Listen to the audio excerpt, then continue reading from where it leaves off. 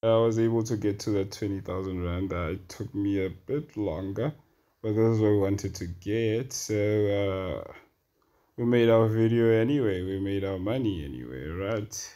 So I'm trying to get to uh, at least 25 grand before 5, uh, half past 5 in the morning. I'm very tired today. I don't know. I usually I sleep by 7 a.m. Excuse me. I've already sent uh, uh, predictions to my group, you know. Uh, if you want to join my group, it's uh, 0822 uh, I predict five hours a day. More than that, but I like saying five hours a day because it sounds professional. But I predict uh, predict uh, more than that a day. I give pink sizes with the accuracy of 70%. And then I give uh, pink predictions with the accuracy of almost, almost 91%. So yeah, yeah, join the winning team, guys. Let's make 20,000 rands together. Look at that. Who leaves 400 rand behind? No, it's me. so I'm just going to shoot this video for like a couple of minutes. Uh, hopefully we can uh, get to... Uh, thing is, like, guys are pulling up all the stops with the money. Yeah. See, uh, he's playing with these guys. The top dogs you know.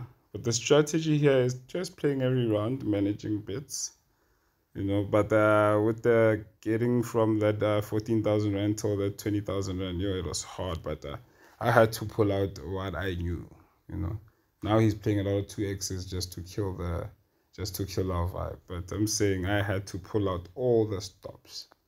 I had to pull out all the stops. I had to bring three strategies, four strategies all together just to get to this 20,000 rand, uh, which was uh, very difficult. That's why I want to just show you another strategy when he's playing uh, like this, a cheat game where he, he takes long to bring uh, pink. Usually when he takes long to bring pink, uh, I suggest that if you don't know the pattern, don't play. Okay, that was dumb of me, but I did it anyway, it's fine uh, if you if you see there's no ping for a long time, a long time meaning seven minutes at most.